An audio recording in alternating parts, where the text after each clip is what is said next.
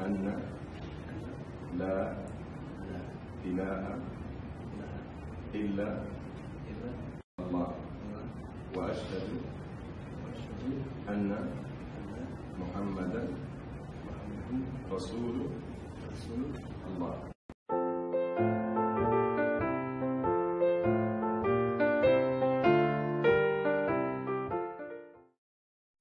بسم الله الرحمن الرحيم. إن شاء الله تكونوا بخير دايما. أعزائي أنا هكلمكم عن واحد مسلم آه، إسلام جديد دخل في الإسلام ما شاء الله عليه بعد ما كان ملحد. هو قبطان طائرة من مطار آه، بارونول في روسيا. لما الطائرة أقلعت محملة بركب ركاب بجنسيات مختلفة بينهم مسلم واحد وعندما ارتفعت الطائرة إلى طبقات السماء العليا تعطلت محركاتها وبدأ يختل توازنها والناس شاسخة أبصارها تنتظر الموت. منهم من تعالت صرخاته ومنهم من أصابه انهيار في تلك اللحظة. رفع المسلم يديه إلى السماء وقال اللهم يا من لا تضيع ودائعه أستودعك الطائرة ومن عليها. وفجأة وبدون أي سبب ظاهري عادت المحركات للعمل واستقرت الطائرة وأكملت رحلتها وهدأ الركاب حتى وصلت الطائرة إلى وجهتها وهبطت بسلام. يا سبحان الله. لم يستغرب القبطان من تعطل المحركات فهذا أمر قد حدث كثيرا في تاريخ الطيران المدني. لكن ما أذهله واعتبره حدثا فريدا من نوعه هو عودة المحركات للعمل بعد تعطلها وبدون سبب معروف. ذلك ما أثار فيه جنون الفضول فأصر على دراسة الوضع للوقوف على حقيقة الأمر فقام على وجه السرعة بتشغيل كاميرات المراقبة داخل الطائرة فماذا رأى؟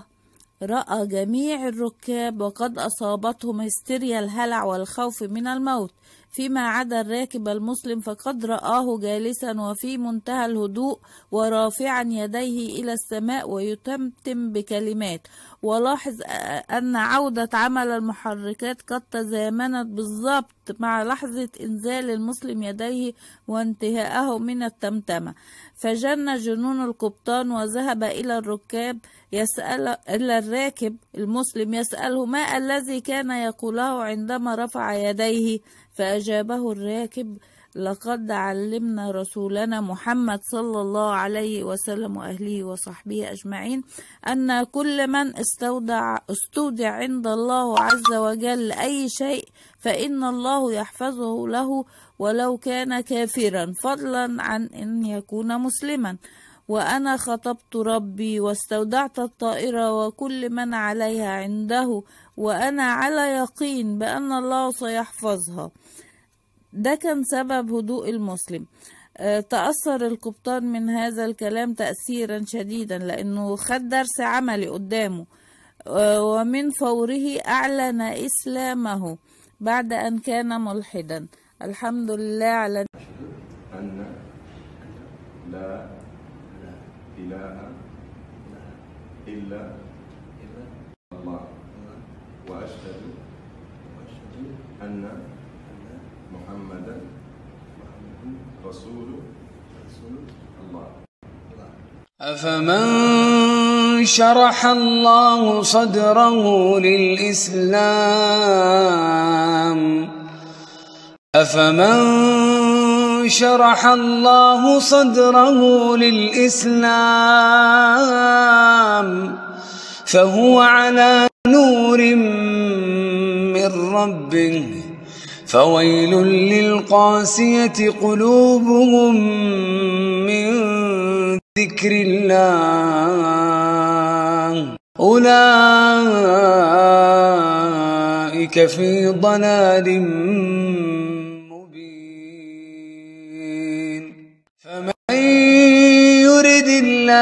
أن يهديه يشرح صدره للإسلام. فمن يرد الله أن يهديه يشرح صدره للإسلام. ومن يرد أن يضله يجعل صدره ضيقا حرجا. كأنما